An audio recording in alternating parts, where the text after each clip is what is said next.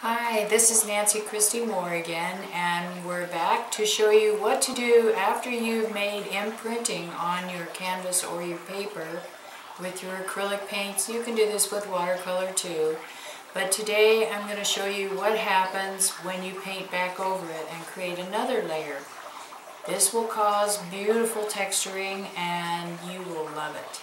Come on over here to the table and let's get started.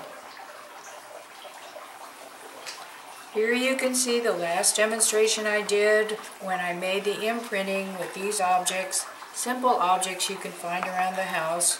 You can get as creative with your objects as you like. The next step is to come back and create another layer with your paints. I'm just going to take a thin layer here of my acrylic and go over what I created before using a thin wash.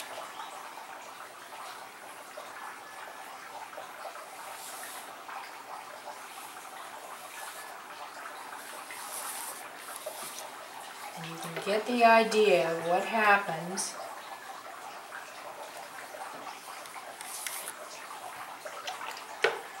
when you go over these things with another color.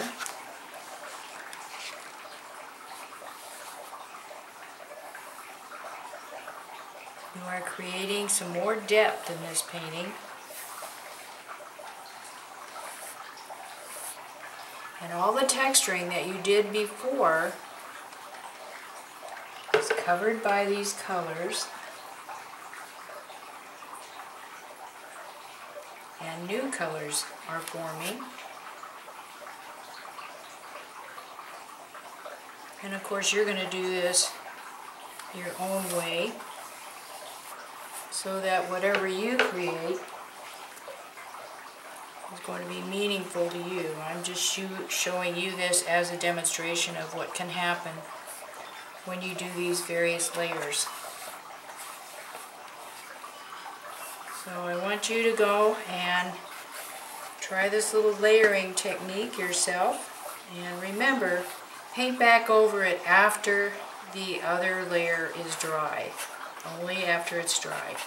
Thanks a lot and see you in the next time.